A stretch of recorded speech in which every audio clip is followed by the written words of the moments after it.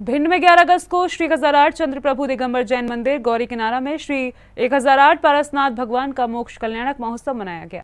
11 अगस्त को तेईसवे तीर्थंकर पार्शनाथ भगवान का निर्वाणोत्सव भिंड के गौरी किनारा के श्री एक हज़ार आठ चंद्र प्रभु दिगंबर जैन मंदिर में मनाया गया। इस दौरान प्रथम कलश करने का सौभाग्य शैलू जैन एलआईसी एवं चतुर्थ कलश करने का सौभाग्य एवं शांति धारा सौभाग्यशाली परिवारों द्वारा की गई सभी ने क्रमानुसार इसका लाभ लिया।